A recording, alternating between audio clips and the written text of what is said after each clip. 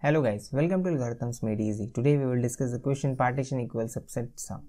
In this question we are given an array nums containing only positive integers and we need to find if the array can be partitioned into two subsets such that the sum of the elements in both subset is equal. In the first example as we can see it is possible to partition the array into two parts and while in the second example it is not possible.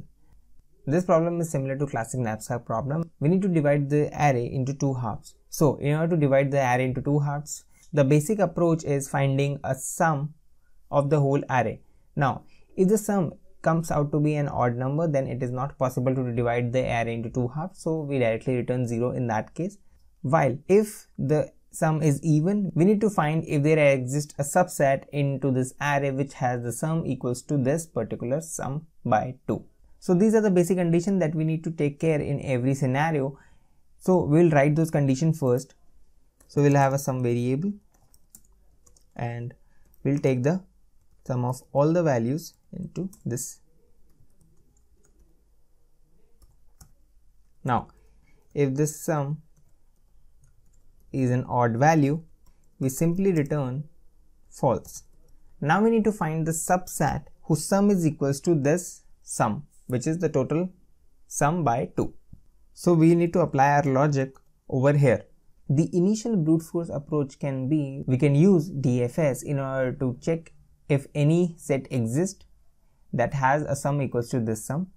But since that leads to a huge amount of comparisons, the complexity turns out to be n square in that case and the program will give time limit exceeded error. So we can use memoization in that technique and lower down the complexity to O of m into n where m is the sum that we need to find and n is the number of variables. We will see a dynamic programming technique in this video. So in order to find the sum, we'll have a boolean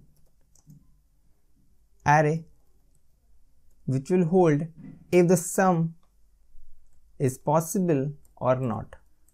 The dp of 0 will always be true we can have a sum 0 in any case. Now we will loop on all the values of the array.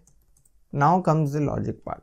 In order to get to the sum, we should have a sum which is sum minus i already in place into this array. If we do not have any value which is sum minus i in place, we cannot reach sum. That is a basic mathematics. So we'll start from sum and go till the current value. Now the sum at dp of j is possible only if there exist already the dp of j was true or there exists a sum which is equals to j minus the current value. If j minus i exists only then we add i into it it will give us j. At the end we simply return the value which is present at dp of sum. So if the value is true the sum is possible if it not then it is not possible.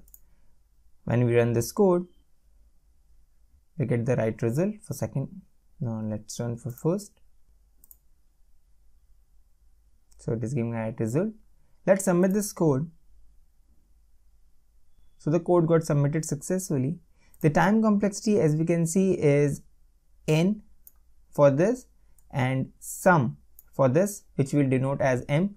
So the time complexity becomes O of m into n and the space complexity as we are using a DP array it is O of m. Thanks for watching the video. See you in the next one.